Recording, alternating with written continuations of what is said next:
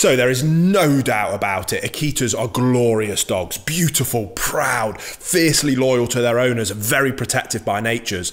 But choosing an Akita as your next dog may turn out to be the worst choice you have ever made. And in this video, we're going to look at the five main reasons why you should not get an Akita.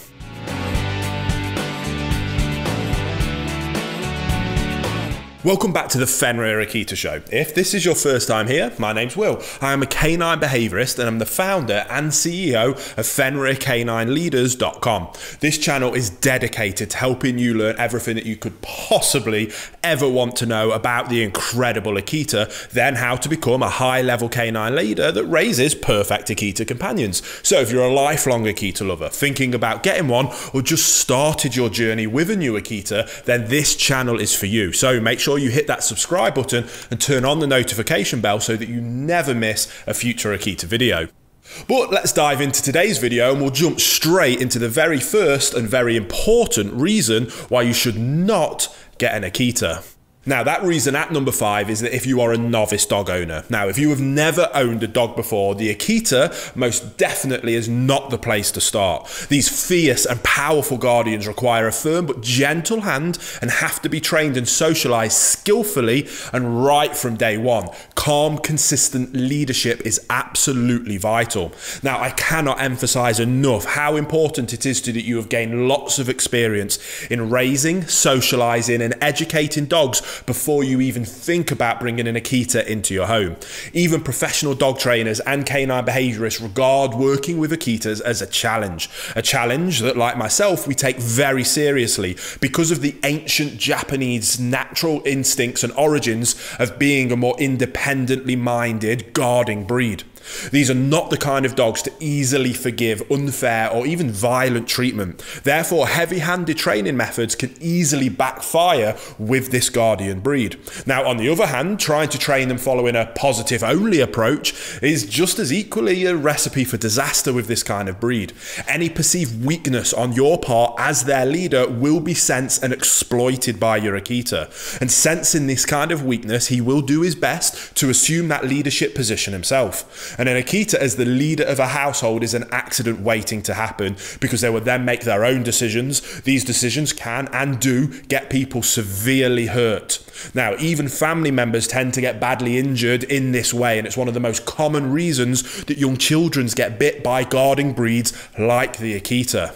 So, if you are a novice dog owner and you've your eyes set on getting an Akita, I really consider you to ask yourself this Are you willing to risk the health, well being, and perhaps even the life of your partner, parents, children, or other animals? As an attacking Akita is the worst case scenario, and take my experience, my first hand experience, into account that that can and does happen. It very well might be the worst case scenario, and people may never have come across it, but it can and does happen. So, I wanted to start there and hopefully maybe get you to reconsider if you are a novice first time owner.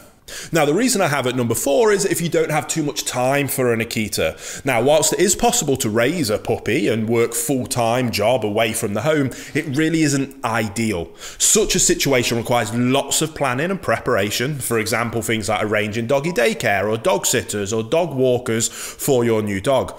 Now, however, raising an Akita whilst being out working all day isn't really a good plan. Not only due to that pronounced independency, or in the words of many seasoned Akita to owners that notorious stubbornness, but also because they often dislike being handled by strangers.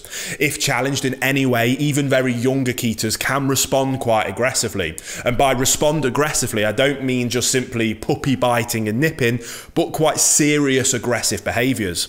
And as we all know, people getting bitten is an excellent way to have your dog put down, which is exactly what we're trying to avoid here. Because guess what? Your cute little Akita puppy will very quickly quickly grow up into a very large muscular canine and this large muscular breed will still need to be taken out for walks by someone else whilst you are out walking all day. Now, another reason why you should not get an Akita if you don't have kind of a ton of time on your hands to really dedicate yourself to the task is their immense need for physical activity and mental stimulation.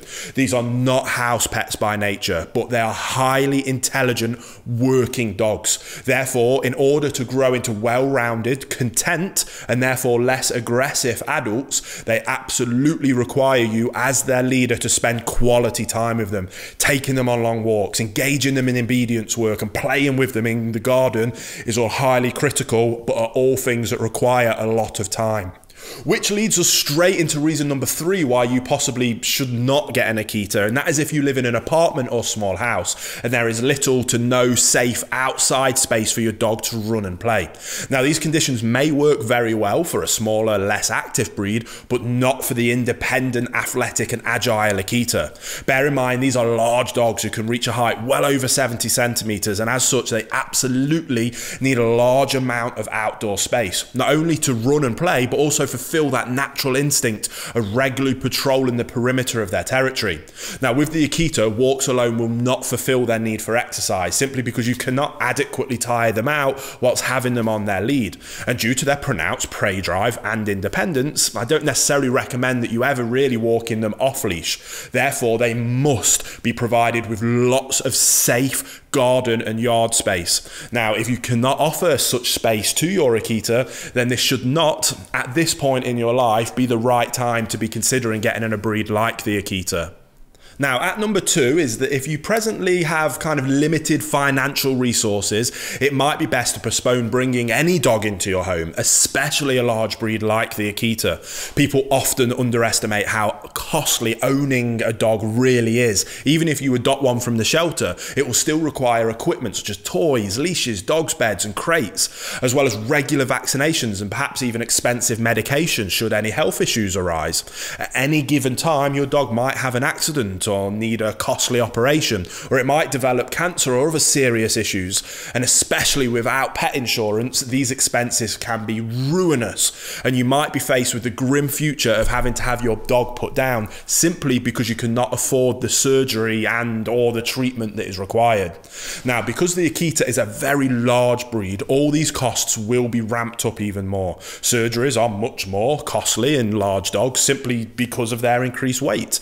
And this is not even mentioning the regular expense for buying an Akita puppy from a reputable breeder or the expense involved in raising one well and then in feeding it a high quality food in order to avoid those future health issues. So, if you do find yourself currently in a bit of a tight spot with your finances, then you should not get an Akita right now. That is not to say that you can never have one, just give yourself the time that you need to build that stronger financial basis first. Now, lacking leadership skills is the reason number one why you should not get an Akita, because this breed absolutely 100% needs you to be a calm, consistent canine leader. To safely own an Akita, you must have far more than just experience, time, space, and money to devote to your dog. You have to be able to take charge and be your Akita's calm, consistent leader all of the time throughout the rest of its life. This is the foundation of your future with the dog. Without that foundation firmly in place, you are setting yourself and your dog up to fail. You may be an experienced dog owner and very knowledgeable in the fields of obedience training, manners, and socialization, but having an Akita on your hands is a whole different ball game. Therefore, unless you are ready to step up and establish a high level of canine leadership, the Akita is not the right choice for you. Now, by the way, the very same applies to each and every member of the household you need to ask yourself is your wife or your husband able to willing and willing to be able to fully commit and on the same page as you when it comes to raising and tre- training a breed like an Akita and what about the children in the household if there is any? Quite obviously very young children cannot and shouldn't really be expected to be calm consistent canine leaders yet. However with a golden retriever for example that's not quite as big of an issue. But with a breed like an Akita it can and often is unfortunately extremely dangerous Now, should any of those five reasons why you should not get an Akita might apply to you, that does not mean that you can never safely own one of these beautiful Guardians. It simply means that you still have some work to do ahead of you, building yourself up in self confidence, leadership skills, knowledge about canine behavior, as well as gathering experiences with large Guardian breeds. For example, you could start off by volunteering at your local shelter. This not only helps the dogs there, but it gives you invaluable hands on experience with a variety of different breeds.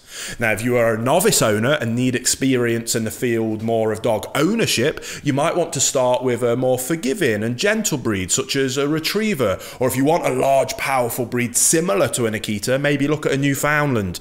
And after you've built yourself up to an experienced, calm, consistent canine leader, then you might very well be ready to share your life with an Akita. And when you're at that stage, it's then when the Akita can make a perfect fit and be a wonderful canine companion.